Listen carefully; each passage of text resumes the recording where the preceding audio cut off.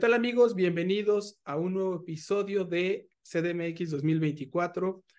El día de hoy tenemos un programa muy interesante donde vamos a tener una entrevista con uno de los precandidatos de Morena para coordinar a la 4T y buscar ser jefes de gobierno en la Ciudad de México.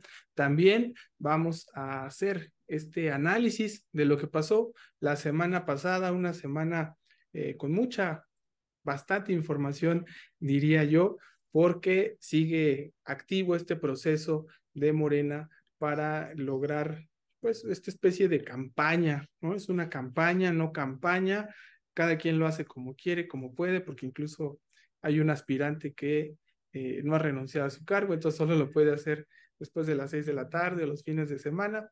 Caso sui generis, pero ¿cómo estás, Alberto? ¿Cómo ves esta semanita tan cargada? Hola Luis, hola amigas, amigos de CDMX 2024. Pues la semana que pasó ha sido muy intensa. Ya, por ejemplo, Sandra Cuevas inició sus actividades, sus giras de autopromoción por la ciudad, que ella misma en su momento aceptó que era una campaña. Eh, empezó pues violenta, agresiva, como suele ser, con un zafarrancho en la central de Abasto también tenemos eh, pues actividades de Omar García Harfush, que se reunió con copacos de la alcaldía eh, Iztacalco y que también se reunió con el líder del sindicato eh, dirigente que pues se ha perdido en el sindicato del metro desde hace muchos años, que es Fernando Espino. Pues también tenemos por ahí a Clara Brugada, que ha hecho algunos eventos vespertinos, en algunas alcaldías, pues ahí un tanto eh, menos lucidores, ¿no? Y de eh, Hugo López Gatel, de plano, no sabemos nada, no sabemos qué esté haciendo, ¿no? Este, suponemos que anda pues haciendo promoción, pero pues no sabemos en dónde, si es aquí en la ciudad o en otra ciudad o, o solo por redes, este, en fin, es el que menos ha asomado la cabeza. Sí, yo creo que vamos a buscar a López Gatel a ver si nos quiere dar una entrevista para que nos diga cómo le hace o dónde la hace su campaña, porque nadie lo ha visto, ¿no? Como dices, yo la verdad no le he visto un solo acto público, si acaso mensajes ahí perdidos en redes sociales, pero no, no lo he visto. Oye, pero para arrancar, como decías, alguien a quien tú has estado siguiendo mucho, no solo ahorita como en periodo de campaña, sino en estos mensajes que luego llega a dar esa Sandra Cuevas, Por todo este trabajo polémico que ha tenido ahí en Cuauhtémoc, siempre ha sido una mujer eh, que le gusta la confrontación, una mujer muy estridente, y pues platícanos qué pasó, ¿no? Porque, eh, bueno, si quieres, vamos a mandar este video para que vean lo que pasó primero en la central de abastos y lo ligamos con el otro video ahí de, de lo que pasó después en GAM, que me parece todavía fue más grave. Y ahorita, regresando de este video, nos explicas pues, qué está pasando, si tú ya esperabas también cosas de esta naturaleza. la pluma. ¡Agárrenlo! la pluma! No me voy a ir, no me voy a ir. No me voy a ir. No me voy a ir. ¡Maricos de la chingada! ¡Eh, eh, eh!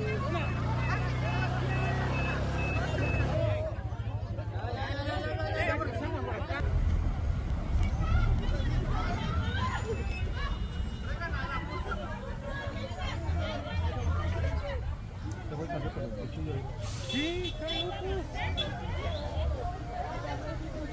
Ah, no, pero es que también la, la Sandra Cuevas se acercó, que está todo el mundo y se le sigue echando. Mira, ya viene con lo que tú, güey.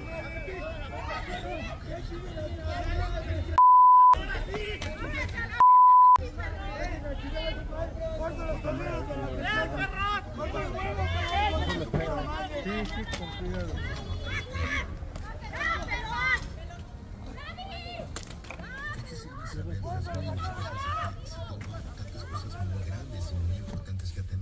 Pues, ¿qué les parece? Esa es Sandra Cuevas en campaña.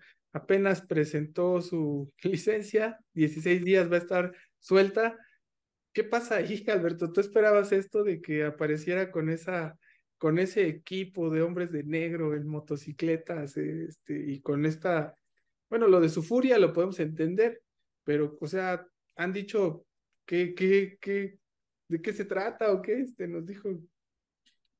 Pues, pues yo creo que esta comitiva de hombres de negro en motocicleta nadie la esperaba, ¿no? Este, fue muy sorpresiva ver ahí cómo pues se acompañar de estas personas en moto, ¿no? Este, yo no pensaba que esas giras fueran a ser pues de ese tono fanfarrón, ¿no? O sea, sí se le da a ella, pero pues este, nadie se esperaba ello- eso. Lo que yo sí creía o sí esperaba es que pues ella le apostara a la confrontación, eh, a generar provocaciones eh, para aparecer en los medios. Pues, en este momento recordemos que pues quienes aspiren a algún cargo público no pueden hacer ninguna eh, propuesta, no pueden presentar ningún proyecto de nada, no pueden hacer compromisos ni promesas de campaña. Lo único que pueden hacer es presentarse a la opinión pública como una mera mercancía y creo que pues Sandra Cueva le está apostando a eso, solo aparecer en los medios pues de la única forma que sabe hacerlo, de la manera más estridente posible, la única que le sale además, ¿no? Y que le ha funcionado la fórmula. ¿Sí crees que le ha funcionado? Yo no sé a veces si pudiera restarle, porque, pero además algo que yo quería señalar es, veo dos cosas, por lo menos en estos momentos tan, tan álgidos, que me llaman la atención, que es, ¿por qué meterse a zonas de comercio, ¿no? O sea, una, pues obviamente la central de abastos, y luego una zona también de comerciantes en Gustavo Madero, donde la reciben todavía de forma más violenta, pero no entiendo, no termino de entender como por qué busca también mucho ese nicho. Mira, más allá de que pueda ir a zonas de mercados, a mí me llama más la atención de que está yendo a zonas morenistas controladas políticamente por Morena. O sea, la central de Abasto, pues era, es- está dentro de Iztapalapa y la gira que hizo el día de la central de Abasto fue por Iztapalapa. Y luego fue a Gustavo Madero donde también se confrontó. O sea, creo que está yendo a los territorios de Morena para provocar. Esa es la intención de ella, no, no es tanto, pues creo que ni siquiera como que una estrategia más a fondo o pensada, simplemente quiere provocar para generar un conflicto y hacerse la víctima, porque sabe que pues así va a aparecer en medios de comunicación y la gente la va a, identificar. Te insisto, no, no es que esté haciendo propuestas, pero además este no es un momento para hacer propuestas, simplemente quiere aparecer en la opinión pública como sea, como dé lugar. Si es con el conflicto, pues adelante. Sí, lo que no se ve es como que tenga sentido, ¿no? Pidió licencia y ahorita la vemos así con este dispositivo de, además de estos hombres que han generado polémica, ¿no? De quiénes son, porque no parecen ser como los clásicos simpatizantes de, de un equipo político, sino incluso esta forma de vestirse de negro, eh, utilizar motocicletas. Además, el primer día ya terminó en un conflicto que en ese sentido, si es lo que busca, pues sí le salió, ¿no? De generar ya una confrontación con el gobierno de la ciudad, de que se lo llevan al corralón y eso que le pueda permitir victimizarse.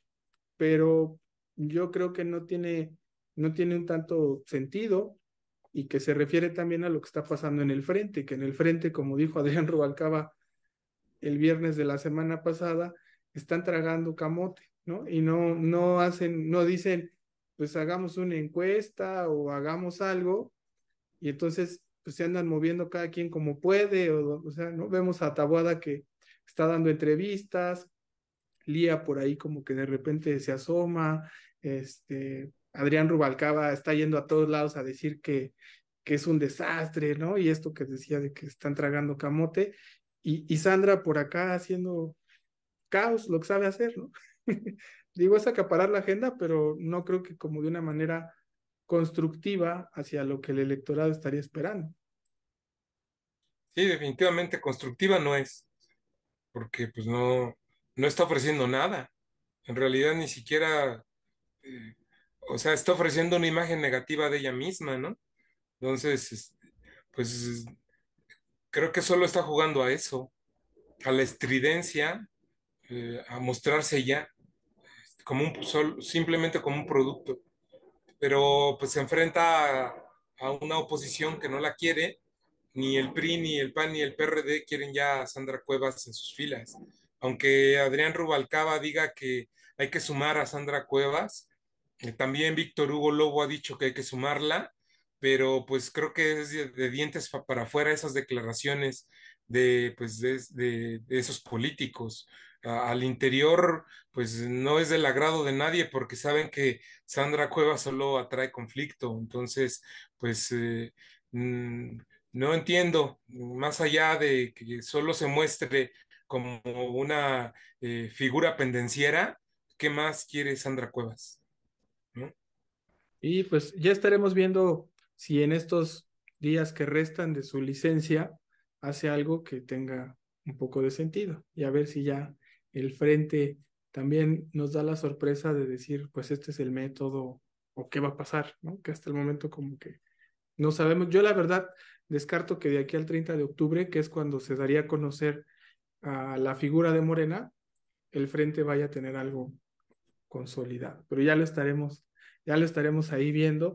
Y pues por ahora vamos a entrarle a, pues fue semana de informe, ¿no? Quinto informe de gobierno que yo siento que ya es como el, el 500 informe de Martí Batres, ¿no? Este, pero ya fue el informe oficial, el informe que se rinde ante el Congreso de la Ciudad de México y que quedó meramente en eso, en un informe porque no es rendición de cuentas, no es que acepte preguntas, no es que debata con los representantes populares, no es que nos explique ni siquiera eh, por qué ha hecho tal cosa o, o, o, incluso también que haya sanción de, lo que se hace, si está bien o está mal.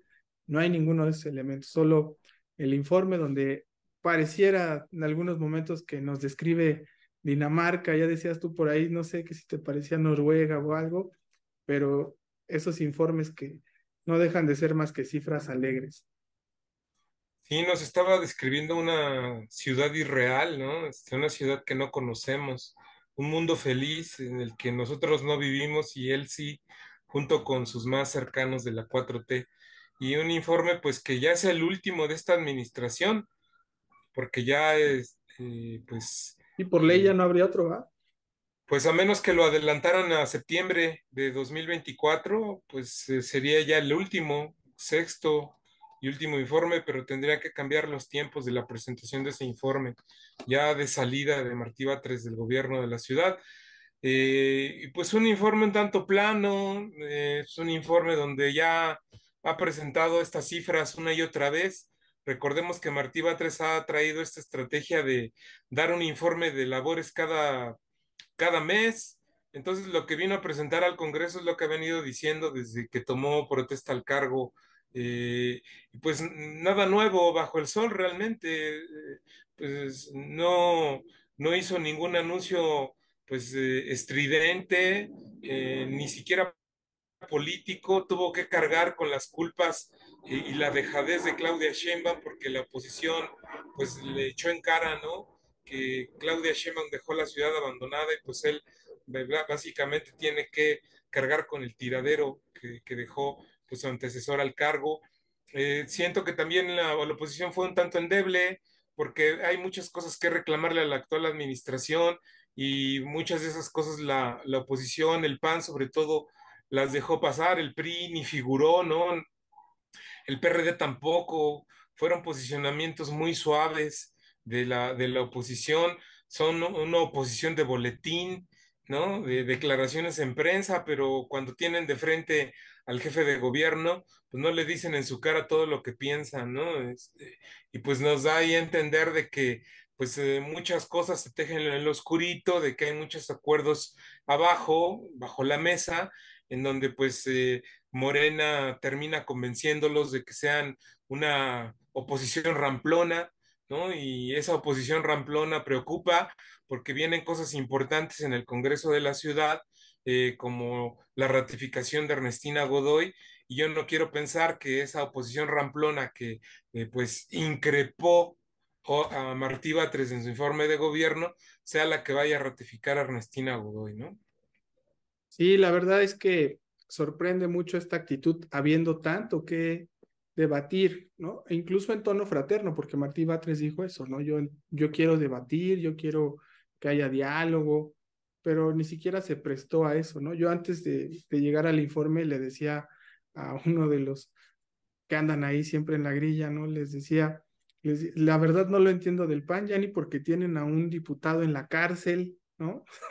que ese es un dato que a mí me parece muy importante, ¿no? O sea, como bancada tienen un diputado en la cárcel y esperaríamos no a una bancada estridente como Sandra Cueva, sin sentido, peleando, ¿no? Sino con, con argumentos, ¿no? Este, incluso señalando eso, o sea, porque a ver, había un discurso de que la fiscalía persigue, de que era una obra de Claudia Sheinbaum, y nada de eso se mencionó. Ya dan por hecho que si Christian von Rorik fuera ya un culpable más, que para ellos este, no importa, porque mínimo eso se debería de, de digo yo, o sea, como bancada, como partido, este argumento que ellos han sostenido de que no tienen ninguna responsabilidad penal y que se trata de una eh, de un gobierno dictatorial que los persigue, ni siquiera ese mensaje está ahí, ¿no? O sea, llegaron a hablar así como de, ah, qué bueno que estás aquí, Martí, tú sí nos has tendido la mano, no como Claudia, Claudia ya se fue, y vamos a hablar mal de Claudia. Claudia es lo peor, dejó tirada la ciudad, y, y dices, bueno, y, ¿y qué pasó con los capitalinos? Pero este amigo de la grilla me decía algo que me dio mucha risa, que fue, dice, pues es que no quieren tres diputados en la cárcel, si tienen uno, entonces seguramente. Y pues sí, se me hace que sí también es un poco eso, ¿no? El, el, el temor a las carpetas eh, judiciales, a los expedientes que pueda haber y esperemos que no sea que no sea solo eso. Pero bueno, más allá de todo ese informe que se dio, a la salida lo agarraste en este chacaleo que se armó y pues le pusiste ahí una, una pregunta en la mesa, Martí Batres. Si quieres vamos a escucharla y ahorita lo comentamos. Este el líder del sindicato del metro ya salió a dar su apoyo a Omar García Harfuch e incluso se vieron ya algunas camionetas del metro llevando a gente a pintar bardas. ¿Eso cómo puede pues, generar un ambiente extraño, jefe de gobierno? No me meto en eso, ya hablaremos de cuestiones en lo general, pero por lo pronto no, no tengo ninguna opinión. ¿Estás pensando dónde se va a ver en el 2024? ¿Qué te parece? Pues la salida fácil, ¿no? Sí, ¿verdad? Es la salida fácil porque, pues sí, porque hay un líder sindical que es Fernando Espino que abiertamente le da su apoyo a Omar García Harfuch. Y pues eso puede generar un riesgo de que haya un desvío de recursos desde el metro, recursos manejados por el sindicato, porque sabemos que hay señalamientos de que el sindicato maneja a discreción recursos del metro y de que Fernando Espino pues no es una blanca palomita y a favor de García Garfuch y simplemente Martí Batres dice, yo no voy a hablar de eso, ¿no? Realmente eh, este apoyo de Fernando Espino a García Garfuch yo no sé si abona o es... Eh, eh, o, o, perjudica porque es un dirigente sindical muy polémico, ¿no? Se ha eternizado en ese cargo como líder del gremio desde hace décadas ¿no? De todo lo que no se ha señalado, de que tiene pues negocios oscuros dentro del metro, que hay empresas proveedoras del sistema de transporte colectivo ligadas a él, de que tiene a su familia en la nómina, ¿no? Entonces, pues eh, yo no sé si García Garfuch o su equipo pensaron en el costo político que represente el apoyo de pues un líder tan polémico como Fernando Espino, ¿no? Y pues la, la respuesta de Martí Batres deja más preocupaciones que pues calma, ¿no? Muchas inquietudes. Sí, y además eh, recordar que había dicho muy molesto la semana pasada también, ya hablé con mi gabinete y que nadie se meta, ¿no? Y este, también, pero parece que nadie le hace caso porque yo vi por ahí que Clara Brugada la semana pasada dio una plática con la Secretaría de la Cultura, de la Secretaría de Cultura del gobierno de la ciudad. La invitaron a un foro que se hizo ahí, algo que es gubernamental. Y, eso ya después de esta plática de Martí Batres de que les dijo no se metan, ¿no? Y entonces, este, pues parece que nadie lo pela, ¿no? También vemos a los alcaldes ahí ya súper metidos, ¿no? Que digo, no le toca a Martí Batres poner a los alcaldes en orden, pero sí es el jefe de gobierno, máxima autoridad política, y hay una contraloría donde él podría decir, oigan, a ver, estos alcaldes están desviando recursos o qué están haciendo, y no, no vemos que... Pero mira, a propósito de lo electoral, también le hicimos ahí otras preguntas, vamos a escucharlas. ¿Aquí no ves en riesgo la ciudad? ¿Cómo? ¿No ves en riesgo la ciudad? La ciudad tiene una vocación progresista histórica y tengo la confianza de que seguirá siendo una ciudad ¿Y progresista. esa vocación no se pierde con un policía? La ciudad tiene un gran impulso, tiene una gran experiencia, tiene mucha organización, tiene un conjunto de valores culturales y por eso pienso que van a continuar las transformaciones a la izquierda con la cuarta transformación. ¿Qué te parece, Alberto? Pues dice que la ciudad se va a refrendar en el 2024 a izquierda, que no va a ser él al que le toque apagar la luz. Antiguo Palacio, ¿no? Y, y bueno, me llamó mucho esto la atención de cuando él dice, la ciudad es de, de izquierda, de una vocación que no se puede perder.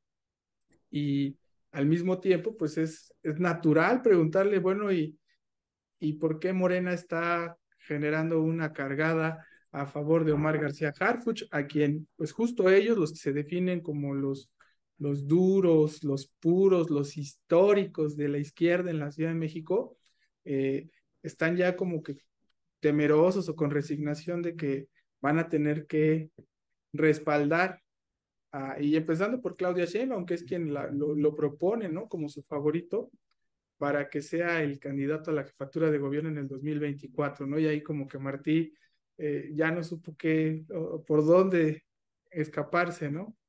Porque tiene que ser eh, políticamente correcto en esto también, a esta apariencia que también está tratando de guardar, de que es imparcial, pero todos sabemos por lo que hace que él está apoyando a Clara Brugada, ¿no? Siempre cuando dice esto de que hay que irnos a la izquierda, de la izquierda, ¿no? Pues a mí realmente me resulta lamentable esta contradicción de, de la izquierda, que sean los exeuístas, hijos de la generación del 68, que ahora estén apoyando a un policía, ¿no? ¿Y qué policía, no?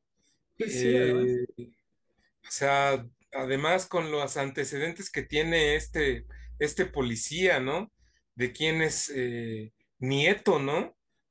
De quien, del general que en el 68 comandó al ejército en esta represión estudiantil, ¿no? Entonces, re- realmente la, la contradicción en la que ha caído la izquierda es absurda y lamentable. Eh, también que nos vaya a gobernar un policía otra vez, porque pues al anterior policía que nos gobernó no lo hizo nada bien, ¿no? Provocó una ruptura en la izquierda que hoy tiene al PRD pues casi en su extinción, ¿no? Entonces, pues a ver si Morena no se arrepiente eh, de haber postulado y aferrado, porque pues no solo es Morena, también es Claudia Sheinbaum quien se aferra a que sea García Harfuch eh, el, el candidato, a ver si no se arrepienten en su momento de esta lamentable contradicción, porque escuchándolo, eh, poniendo atención a, su perfil, a su comportamiento, a sus expresiones, García Harfuch no representa a la izquierda. De izquierda no tiene nada. No hay ninguna eh, manifestación abierta de él, eh, nada que lo haga congraciarse que, con, esta, con esta posición política que hoy lo está impulsando. Es solo un personaje del sistema, ¿no? Pero no representa a la izquierda. Podría incluso atreverme a decir que muy en el fondo representa más bien a la derecha, ¿no? Y que pues el policía que gobernó antes traicionó a la izquierda y este policía nuevo podría traicionar otra vez a la izquierda por segunda vez. Y vaya cosas que, que se están viendo y yo no lo voy a quemar. Estábamos ahí saliendo del informe con un alto funcionario del gobierno de la ciudad que representa estas corrientes que dices tú históricas, pero pues cuando le preguntábamos esa grilla fina, algo que nos dijo que eso sí se lo podemos comentar a nuestra audiencia es que dijo, pues estamos de la chingada, pero estamos bien, ¿no? Y, y creo que esa frase Sí, esa frase también para la izquierda, para la ciudad en general, define mucho de lo que se está viviendo, ¿no? Cosas que, que no logramos, esta contradicción que no logramos, no logramos entender de justo ahora que se presumen tanto los, los egoístas que están en el poder, los históricos, eh, pues teniendo que, por una cuestión de popularidad, de desgaste en el gobierno, de mal gobierno, porque también eso es algo que no dicen, ellos ahorita necesitan a García Harfuch por lo mal que han gobernado. Por eso es que están ellos ahorita, apostémosle al que sea, no importa quién sea, pero que nos pueda garantizar el triunfo en la Ciudad de México. Entonces también hay que decirlo, ellos también son parte del problema. Ellos también tienen una gran responsabilidad. Es lo que a mí siempre me ha dado risa. Todo mundo se queja de Mancera. Y dices, pues ustedes lo pusieron, yo cuando cubrí la elección de Mancera, este, pues, o sea, justo yo agarré a Mancera saliendo de la casa de Ebrard, de ahí de Alfonso Reyes, donde le dijo, sí, pues ya, ya no eres procurador, regístrate, ¿no? Como esta cargada de ahora sí de sí, ya eres tú el bueno. Y dices, bueno. Y otra vez el efecto, o sea, eh, jugar al efecto guapo, ¿no? Sí. Para que ese guapo sea el que, pues, sea el abanderado, ¿no? el que vaya de punta de lanza a ganar la ciudad, ¿no? Lo que quiere decir que pues tampoco traen gran propuesta, ¿no? Están jugando solo al rostro, ¿no? Y es el, el mismo efecto que vimos también con Peña Nieto, ¿no? Y ve cómo nos fue. O sea, eh, o sea el, el, factor guapo no, no garantiza nada, al contrario, resta y resta mucho a la ciudad. Todo mundo pierde con el factor guapo. Y, y, algo que también está dentro de este análisis es que eh, pues, también Morena y los que están en el poder han gobernado mal, lo han hecho mal. No pueden venir a lavarse las manos y decir, pues vamos muy bien, como que no hay un ejercicio ahí tampoco autocrítico. Nada más vemos a, a grupos históricos o alcaldes ahí aferrándose a la figura de Clara Brugada, pero solo lo hacen porque saben que es la única vía de pelear un hueso, pero no porque de verdad se vea que les interesa la ciudad. Y creo que eso es lo más lamentable que estamos viendo en este proceso y en esta, en esta contienda. Y más adelante vamos a tener aquí en la entrevista a uno de los aspirantes que también dice mucho de, de qué está pasando, ¿no? Porque hay... A una, ¿no? A una, ¿no? Y es una, eh, una figura que también genera polémica y contradicción desde su misma participación.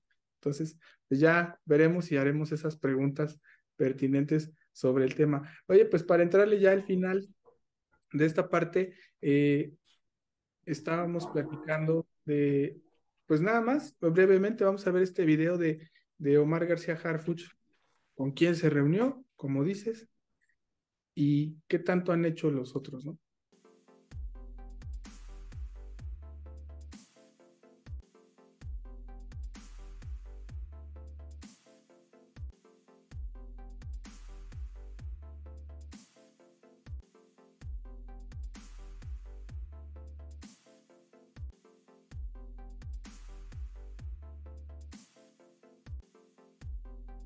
Pues ahí está, amigos, el video de que les comentábamos, Omar García Harfuch, que es el único que ha estado haciendo eventos multitudinarios, juntándose con vecinos, con mujeres, pues también con la cargada, con líderes eh, como Fernando Espino, con estructuras del poder, y así es como se está dando este proceso interno de Morena. Los dejamos ahorita aquí en la entrevista con una mujer muy importante que está contendiendo para coordinar a Morena.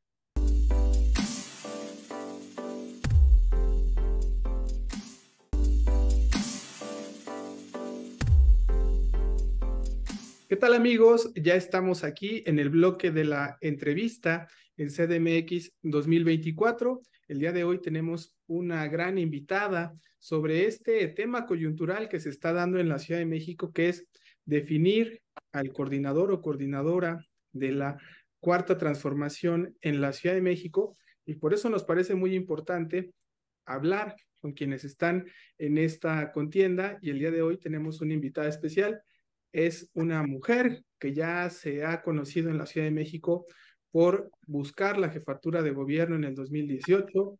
Eh, actualmente es procuradora del ordenamiento territorial. Aquí en la Ciudad de México está PAOT, que se conoce familiarmente comúnmente, y también es abogada y maestra en administración pública. Bienvenida, Mariana Boy, ¿cómo estás? ¿Qué tal, Luis Eduardo? Muy buenas tardes. Muchas gracias por este espacio y por esta invitación. Alberto, buenas tardes. ¿Qué tal? Buenas tardes. Muchas gracias, Mariana. Oye, nos gustaría preguntarte en un principio, ¿qué pasó? Porque llegaste de sorpresa a este proceso. Sabemos que tienes esta aspiración por la jefatura de gobierno desde hace muchos años, pero llegaste a este proceso de en un partido morena y quisiera que nos contaras ¿Cómo fue el acuerdo? ¿Cómo lograron esos votos? ¿Quién te propuso? ¿Cómo llegas a esta contienda?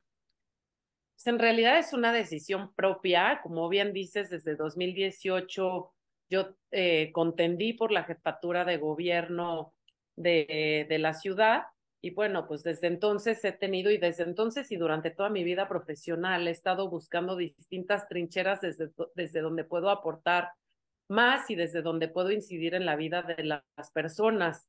Eh, y bueno, pues justamente así se dio ese proceso de 2018, por eso tomé esa decisión en 2018, porque la jefatura pues era una plataforma pues mucho más eh, sólida para poder impactar en la vida y en la calidad de vida de las personas. Y pues nuevamente se presenta esta oportunidad y pues la intención es la misma, ¿no? Y eso ha sido como una característica de mi vida profesional desde el inicio que nací en las organizaciones no gubernamentales.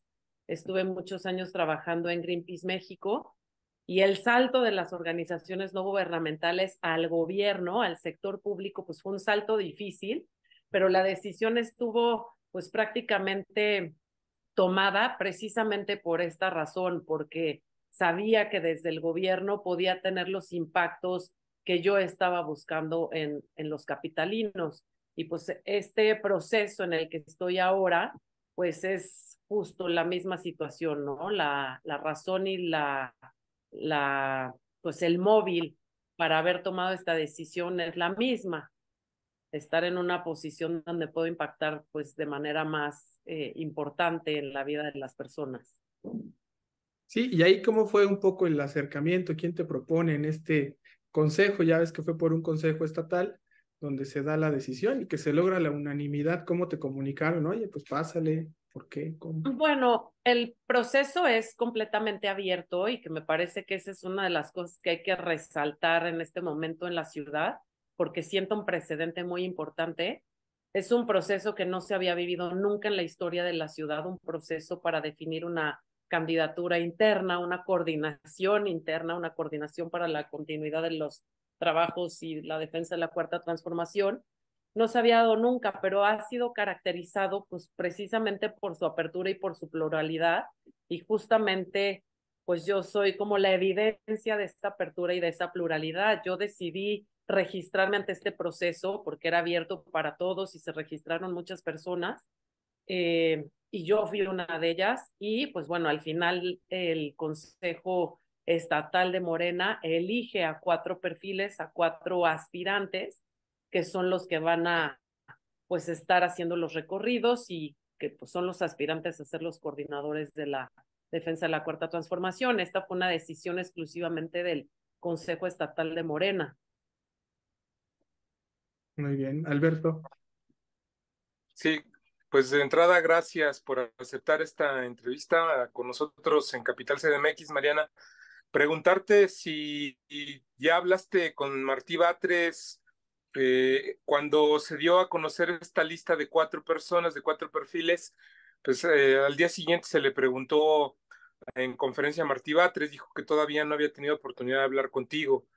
Eh, ya hablaron eh, cuál fue pues el tono de la charla. Eh, pues sabemos que vas a seguir en la en la PAOT, que va a ser en las tardes y fines de semana cuando sobre todo tengas esta actividad política más intensa. sobre eso hablaron, ¿cuáles fueron los temas que comentaron, Martito? Sí, de hecho, lo que comenta el jefe de gobierno en la conferencia cuando le preguntan es que sí habíamos tenido comunicación, no nos hemos sentado en persona a dialogar sobre este tema, pero por supuesto que ha habido comunicación. Yo desde el inicio, por ser parte del gobierno en la Ciudad de México, eh, desde el inicio, antes de registrarme, le comuniqué esta decisión que yo había tomado, que me iba a registrar y que, bueno, pues que... Eh, había decidido en base a los a los a las bases de la convocatoria permanecer en el en la en el puesto de PAOT, ser, seguir siendo titular de la procuraduría y bueno, pues en estricto apego a la legalidad, pues mantener justo como mencionabas eh, dedicarme 100% a la institución, a los trabajos del gobierno y de la institución, de 9 de la mañana a 6 de la tarde, y en el resto, fuera, en los horarios fuera de trabajo y en fines de semana, pues eh, trabajar en este proyecto paralelo. Y bueno, pues no hubo ningún problema con el jefe de gobierno, eh, pues eh, sabe que soy una persona responsable, comprometida y pues sobre todo siendo titular de la PAU, donde estamos permanentemente vigilando el cumplimiento de la ley, pues por supuesto que tengo una responsabilidad pública y moral de, de respetar eh, pues esto por la ley, ¿no? En este sentido. Un tema que no para en una ciudad muy dinámica, Mariana. Me gustaría yo preguntarte, y bueno, antes explicarle un poco al auditorio que tú formas parte del Partido Verde Ecologista de México y el Partido Verde está eh, en coalición ya prácticamente definida con Morena, con el PT, para el 2024. Eh, ¿Tú qué posibilidades reales ves de poder coordinar la 4T que responde básicamente a Morena? Pues muchísimas, o sea, como decía al inicio, este es un proceso completamente abierto y democrático y hay que partir de la base de que vivimos en una ciudad muy diversa, donde hay todo tipo de preferencias y hay que recordar que la encuesta que, se va a estar realizando es a toda la ciudadanía, no es únicamente a personas del Partido Verde o a personas que pertenecen a, Morena o a cualquier otro partido político. Es una encuesta abierta donde todas las personas que sean consultadas y sean encuestadas van a, a poder opinar y elegir a uno de los cuatro perfiles con el que simpaticen más, ¿no? Y me parece que eso es lo rico de este proceso, que somos cuatro perfiles completamente distintos buscando el mismo objetivo que es pues continuar con el movimiento de la transformación en la Ciudad de México, pero cada uno con su sello muy personal, muy particular, por la trayectoria y experiencia que cada uno de nosotros tenemos. Entonces, pues hay una, somos cuatro alternativas distintas para los ciudadanos, pues que tienen una visión o pues de ciudad en específico, ¿no? Que cuadre con alguno de nuestros perfiles. Eh, Mariana, yo te quiero preguntar, en, em, en 2018 tú declinaste tu candidatura a favor de Claudia Sheinbaum. Hoy, ¿en algún momento evaluarías eh, declinar a favor de Omar García Harfuch? No, no, yo, yo nunca decliné. Yo no, yo contendí en 2018 hasta el final.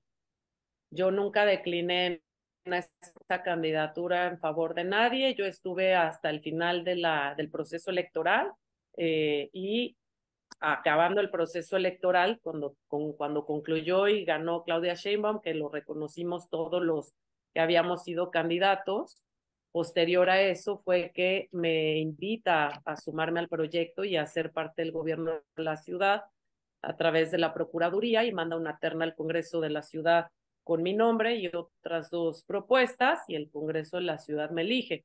Pero bueno, yo nunca decliné en favor de nadie en 2018 y pues es la misma postura. Yo no, yo no estoy aquí en este proceso para declinar a favor de nadie. Yo realmente tengo una intención clara y verdadera y un proyecto y una visión de ciudad muy concreta eh, y mucho que ofrecer a los habitantes de la ciudad. Entonces, pues mi intención aquí no es declinar en favor de nadie, yo estoy aquí hasta el final de las encuestas. Me lo pregunto porque el día que dieron a conocer los cuatro nombres, eh, pues vimos como una diferenciación muy clara como de equipos. Eh, cuando después de que se presentan al frente y se toman la foto los cuatro ante los medios de comunicación, pues eh, Clara Brugada se lleva a Omar, perdón, a, López Gatel, e incluso hay diputadas a favor de Clara que empiezan a gritar, te queremos Gatel. Tú y Omar García Harfuch se quedan atrás, incluso como separados de aquel otro equipo. Hay, hay como dos bloques, se puede hablar, o no solo de cuatro aspirantes, sino que hubiera dos bloques en esta contienda.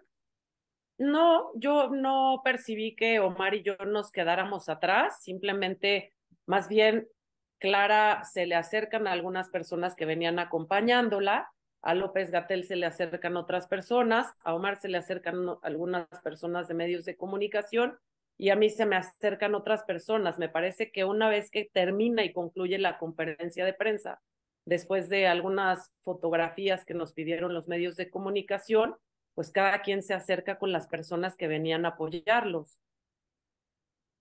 Entonces, no, de ninguna manera mi percepción y mi lectura no es que haya, haya grupos, hay un interés genuino de los cuatro aspirantes, pues de ser coordinadores de la defensa de la transformación en la ciudad. Sí, Mariana, cuéntanos un poco cómo ha sido esta interacción con la militancia de Morena, cómo has estado realizando estos recorridos, eventos por la ciudad? ¿Cómo será este eje de tu campaña para poder posicionarte? Pues aquí lo importante, Luis Eduardo, pues son los ciudadanos.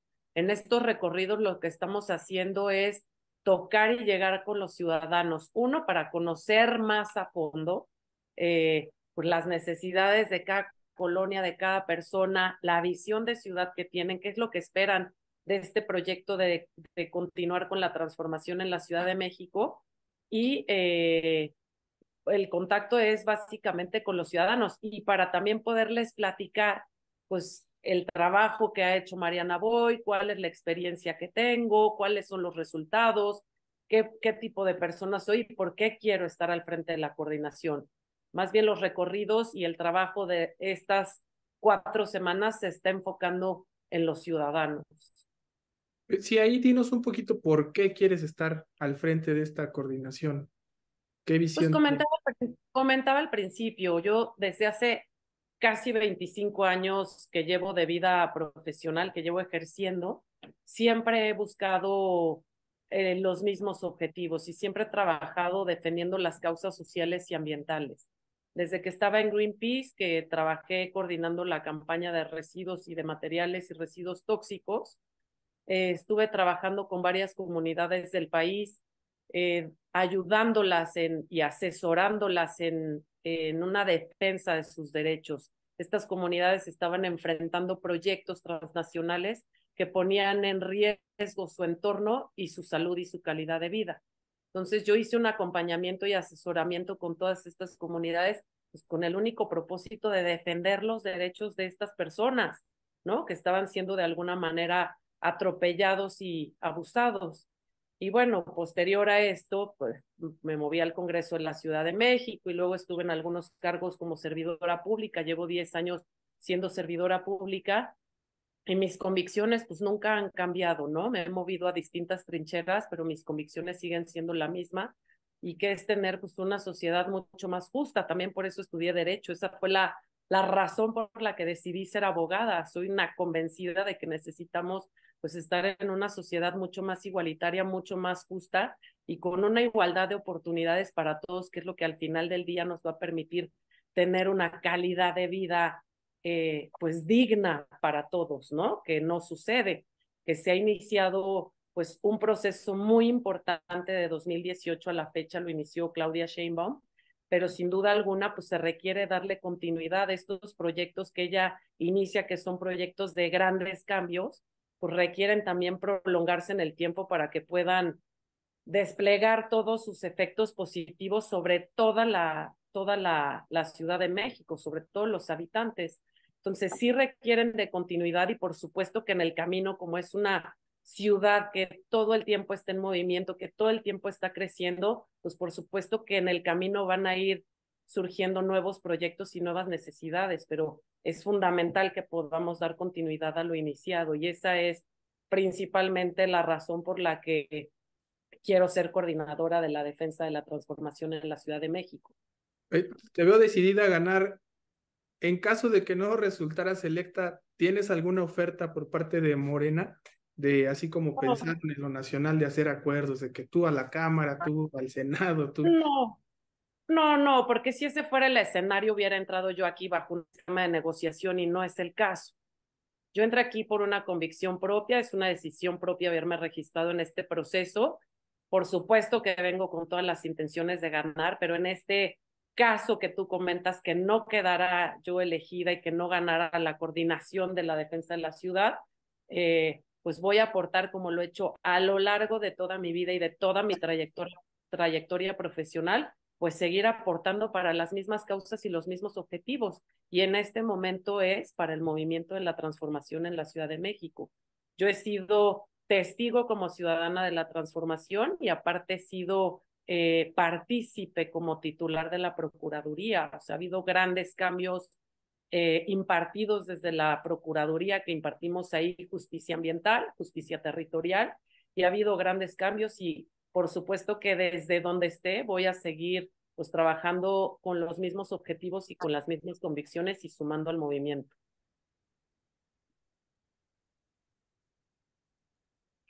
¿Y Alberto?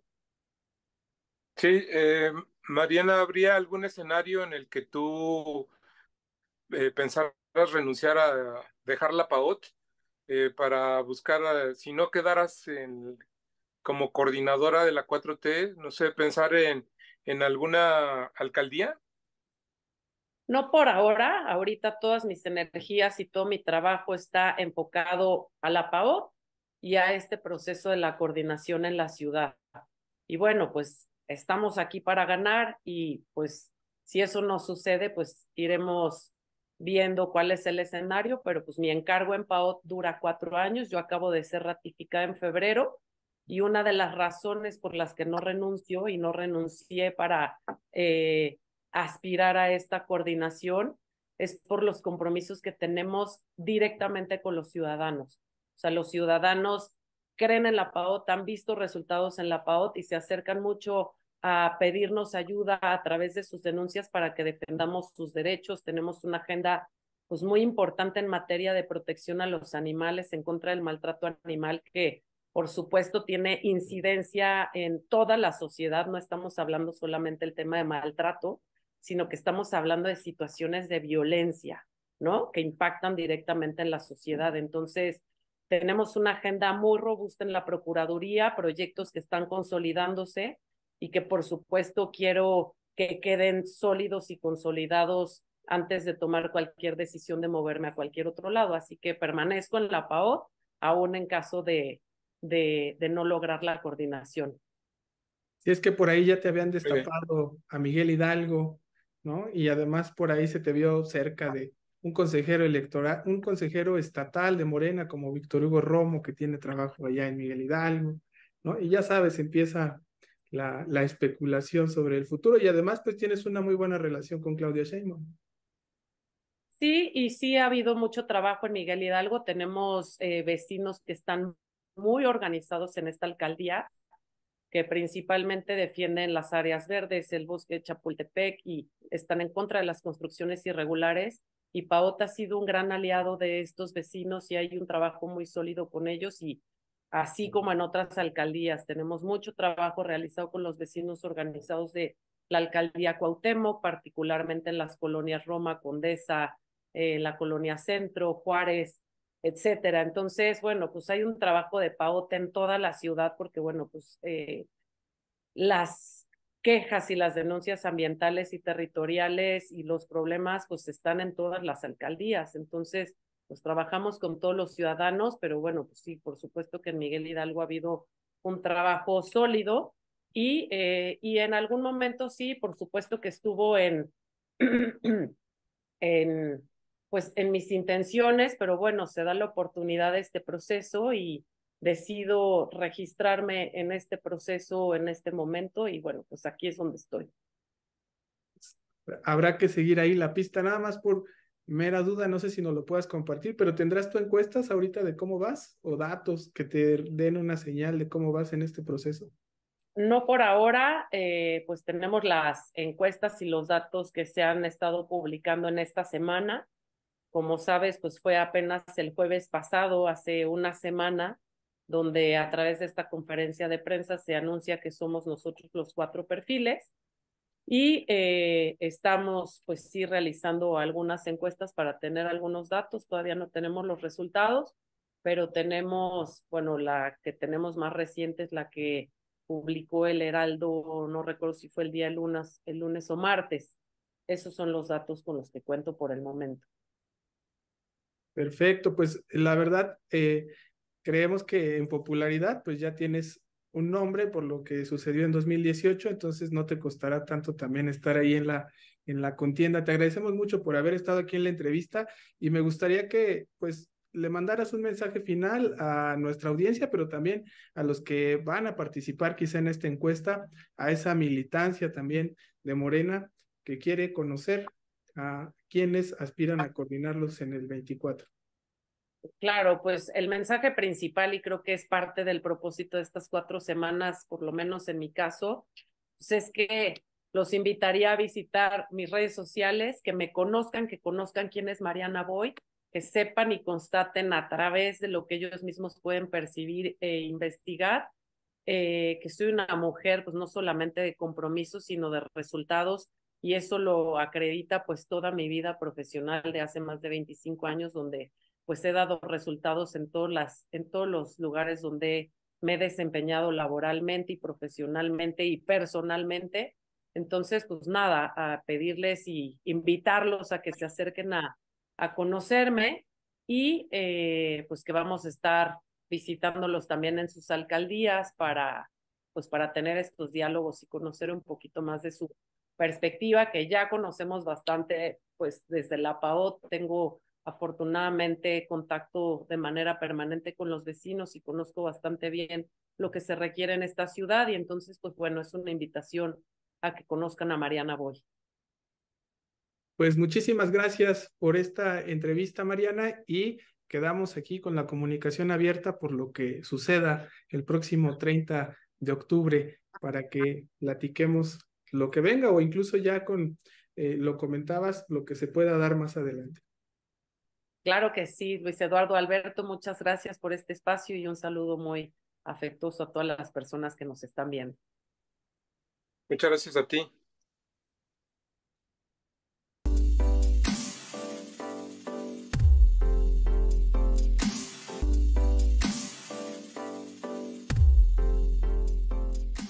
Gracias amigos por estar aquí con nosotros en CDMX 2024. Vámonos rápido a las perspectivas Alberto. Pues mira, la semana pinta bastante movida. Este 10 de octubre, Ricardo Ruiz comparece en el Congreso de la Ciudad de México, el secretario de Gobierno de la ciudad, como parte de la glosa del quinto informe de gobierno eh, de Martí Batres. Y luego al día siguiente, el 11, también comparece ante el Congreso eh, la secretaria de Administración y Finanzas, Luz Elena González. Ambos lo hacen ante el Pleno, entonces pues va a ser eh, comparecencias un tanto ríspidas, muchas cosas que preguntarle a ambos funcionarios. Luego, fíjate que para el 13 de octubre, eh, que es viernes, inician ya los foros regionales a los que ha convocado el Congreso de la Ciudad para iniciar la discusión del Plan General de Desarrollo y del Programa General de Ordenamiento Territorial estos polémicos planes urbanos, pues que han generado mucha controversia y rechazo de pueblos y barrios originarios, de colectivos de vecinos.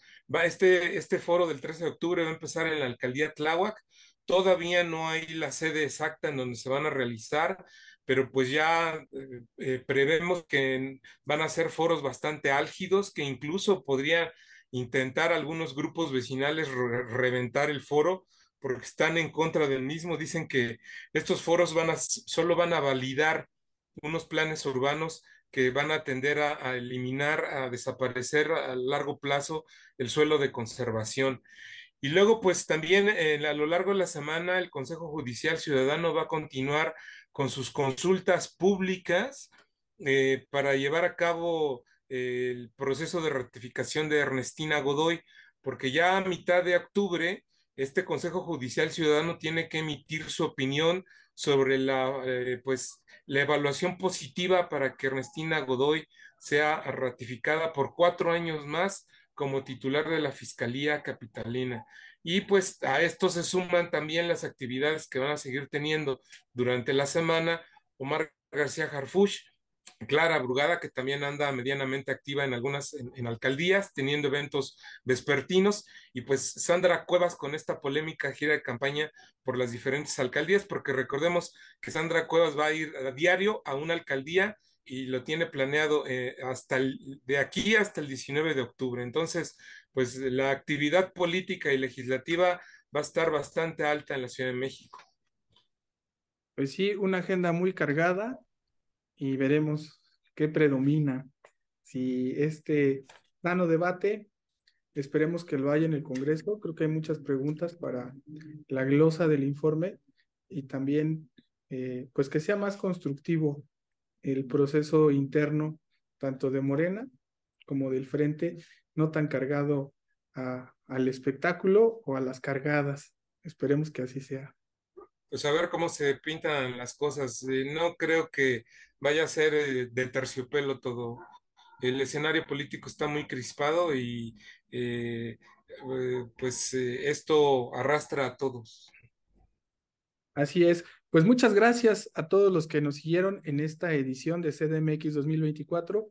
Los invitamos a que nos sigan en nuestras redes y muchas gracias también a Karina Salazar por estar ahí en los controles, ayudándonos con la edición y producción de este programa. Muchas gracias, Alberto. Que estés muy bien. Hasta luego, Luis. Hasta luego, amigas y amigos.